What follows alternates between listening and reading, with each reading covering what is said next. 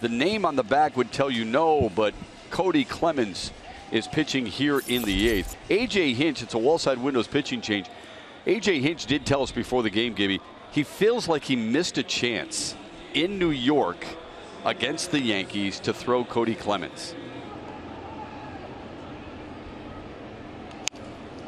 In the air, right center field.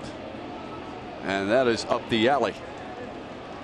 Reyes all the way to the wall. He'll retrieve it. And Abreu trots in with a leadoff double, his third hit of the day. Saw him taking ground balls there the other day. Moncada with a base hit to right.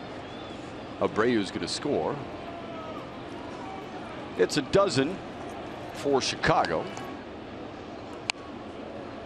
Pops it up. Foul territory. Willi Castro's got it. There's one away. Doesn't have the same type of velocity that Dad did. Harrison singles to center. Seby Zavala sends one to deep left field. He's already homered once today, and it is caught in left field by Austin Meadows. Pulled it back, otherwise Zavala would have had his second homer of the afternoon. Instead, it's the second out in the eighth.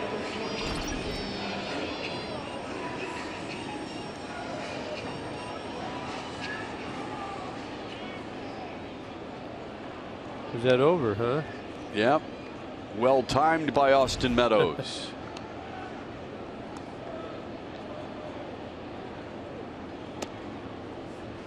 A free pass to load him up.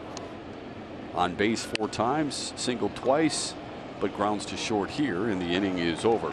Tigers will bat in the eighth. They're down a bunch.